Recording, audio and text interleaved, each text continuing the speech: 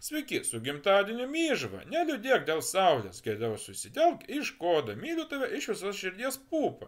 O kad būtų linksmiau, trumpas anegdotas. Vieną žodžiu, ateina gėjus į mėsos parduotuvę ir sako, duokite man dešros, pardavėja tadė. Gali būti supjaustyta, o vyras piktai, ar mano šikna panašiai į taupyklę? Eina, sako, vis laik anegdotai būna trumpi, bet jie būna nustabus, tai kartu tai mane būtinai paspausk. Laikas, subscribas už baltų lietuvės, iki kitą kartą.